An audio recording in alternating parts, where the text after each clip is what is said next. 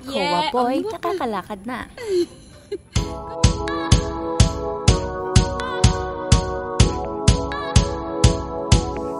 Welcome back to our channel mga ka-Celebrity TV. Narito na ang ating Happy Islanders update. At tila ayaw na ngang magpahuli ni Kowa Boy sa mga activities ng kanyang ate Ellie at ate Lilo na naging libangan na ang pag skateboarding sa labas ng kanilang bahay sa Laguna.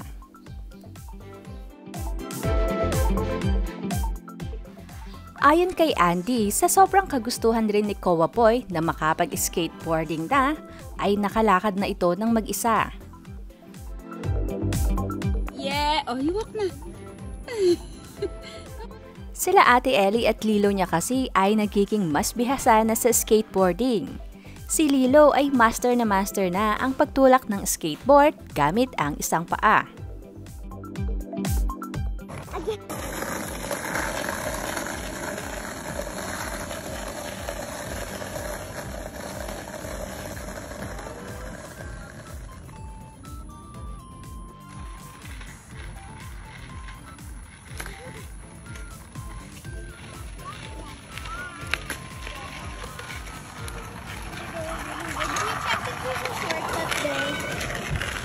There is.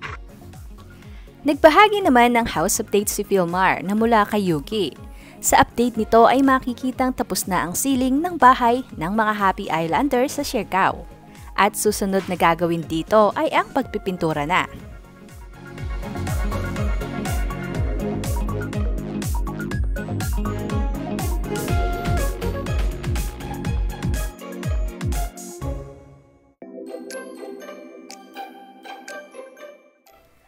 Kasalukuyan namang nasa Davao pa rin si Philmar na nag-trail riding sa Kawa-Kawa Uphill kahapon kasama ang mga kaibigan.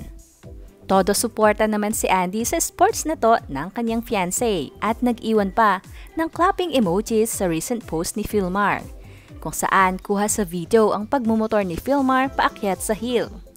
Sinabihan rin ni Andy si Philmar ng enjoy mahal sa comment section na agad namang pinasalamatan ni Philmar. Give and take at supporting each other ang dalawa pagdating sa kanilang mga sports and hobbies. Kaya naman napaka-light and smooth ang takbo ng kanilang relasyon.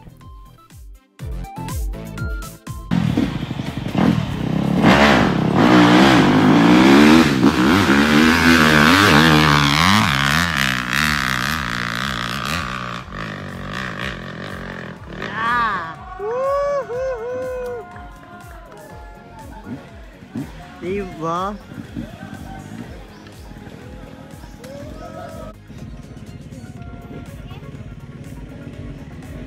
apa Woi. Manganin. Oke, oke, meeting food. Apa aja? Pincu ya, geblak-geblak.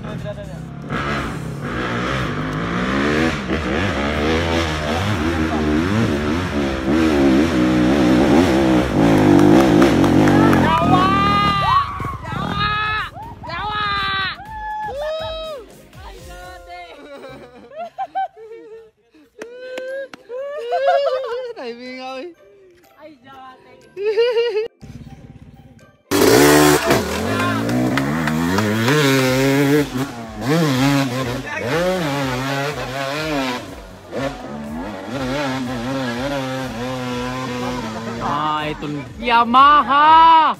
Raise your heart! Ito na, lupa rin rin.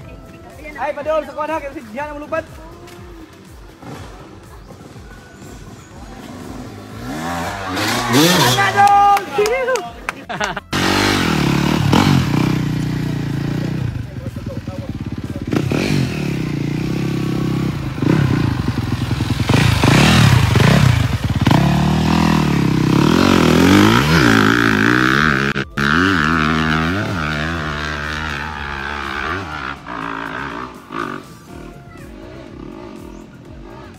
Kaya kayo?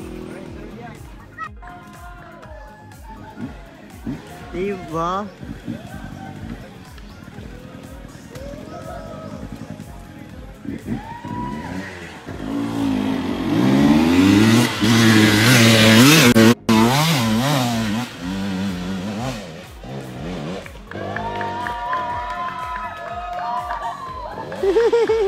nice one.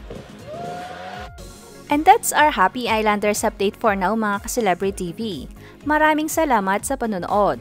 Please don't forget to like and share this video. Subscribe na rin kayo sa aming channel at i-turn on ang notification para ma-notify kayo sa aming latest Happy Islanders update.